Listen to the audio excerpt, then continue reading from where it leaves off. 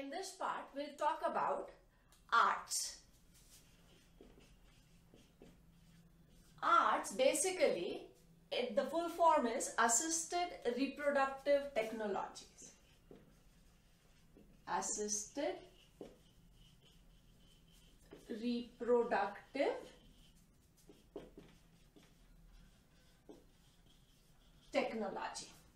And these are various methods which are used to assist couples who are not able to have children for various reasons. The reasons could be uh, the female may have obstructed fallopian tube, ovary is functioning normally, egg is produced, but because of the obstruction in the fallopian tube, the egg is not able to reach up to the uterus. Fertilization is also not possible. Another problem could be oligospermia where the sperm count is very less. So to such couples, these kind of techniques help in having children. There are various techniques which are put under this arts. One is test tube baby. The second is known as GIFT, gift. It is gamete intrafallopian transfer.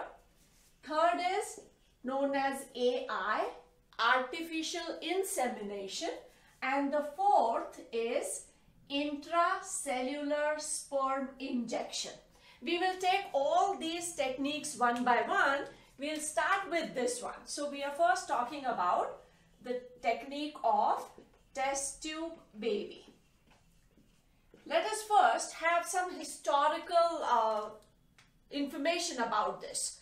The first ever successful experiment was done by Dr. Petrucci in the year 1959 where this technique was used and the embryo survived only for 29 days. Embryo survived for 29 days. But this was the first thing and after that all over the world this process was started. Now coming to the first successful thing where the baby was born which was the first test tube baby. World's first test tube baby. World's first test tube baby. The doctors who did this or those who were assisting the couple, the parents of this first baby, the doctors were Dr. Steptoe and Dr. Robert Edward. And the name of the first test tube baby, world's first test tube baby was Louis Joy Brown. And she was born in 1978. So this was the first baby, first test tube baby and the doctors who helped were Dr. Steptoe and Edward. The problem that was faced by the parents of this girl, the mother had obstructed fallopian tube. So in this, by this technique, they had the first uh, baby and this Louis Joy Brown became the world's first test tube baby. Now coming to India's first test tube baby. India's first test tube baby.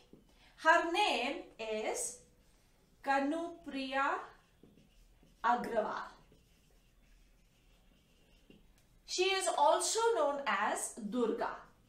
So at some places you may find Durga written but her actual name is Kanupriya Agrawal.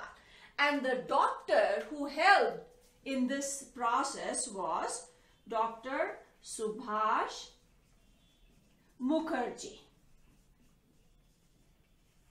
And this was also in 1978.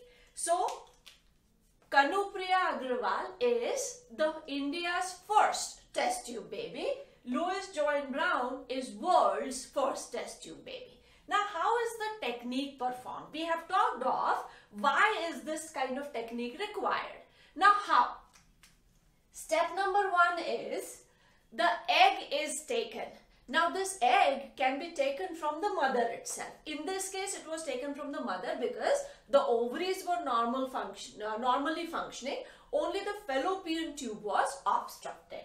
So egg is taken out. This egg is fertilized using the sperm from the father only. So egg is fertilized. Now, this fertilization is done in vitro. In vitro. What exactly is meant by this in vitro fertilization? In vitro fertilization means fertilization outside the body in the same conditions like body. That means all the conditions which exist in the body, same conditions are uh, maintained, but fertilization is taking place outside the body. Now, because this was done outside the body in a petri dish, but in a laboratory condition, that means it was done outside the body and that is why, and normally whenever we do anything in a lab, test tube is the most common thing or the structure that we use. So, because it was done outside the body in a laboratory, people started calling this baby test tube baby. Earlier, when this concept was very, very new, people had no idea what exactly is happening. So they thought that the baby was produced inside a test tube actually. But it was only this in vitro fertilization which was done. After in vitro fertilization, zygote was allowed to divide. Zygote started to divide. It was stimulated to divide in vitro. That means fertilization is outside the body, zygote divides outside the body and now this has to be put back into the mother's body. In case of this first case, as I said, the mother had obstructed fallopian tube. So the egg was taken from the female, the sperms from the father, egg was fertilized, zygote was formed in the uh, lab condition in vitro and then this zygote was transferred into the uterus of the mother. Now, when can the zygote be transferred? So, transfer of this zygote can be done in two ways. One is known as zygote intrafallopian transfer, Z-I-F-T. Zygote intrafallopian transfer. That means after the zygote has divided, it is put back into the fallopian tube.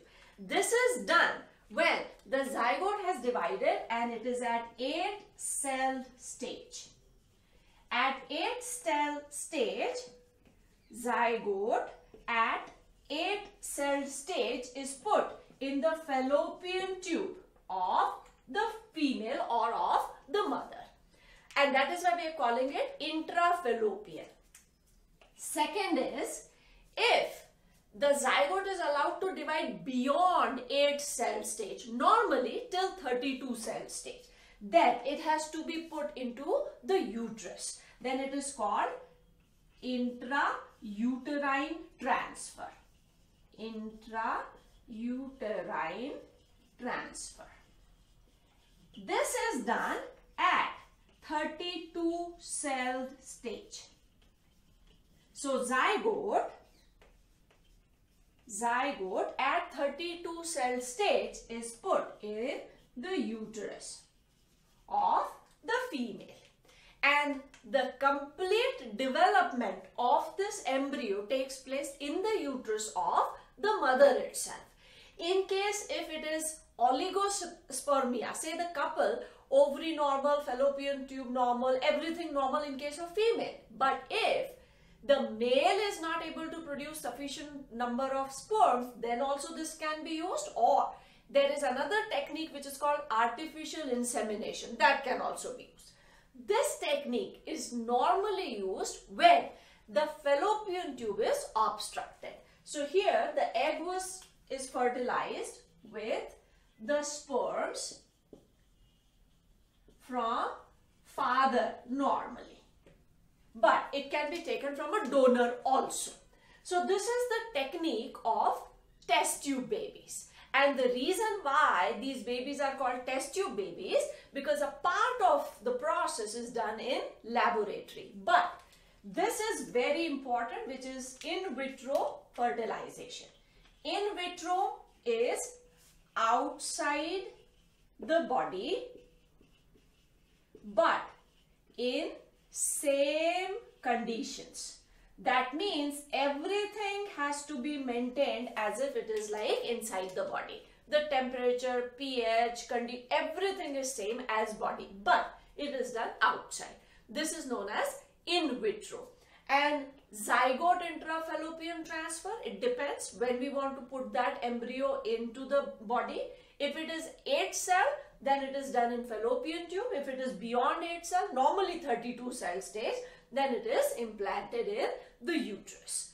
And the female who is going to receive this embryo, her body is also treated with hormones so that the uterus is ready to receive that embryo and implantation can take place. So this is about the first technique under arts that is test tube baby. In the next part we'll take up the other techniques.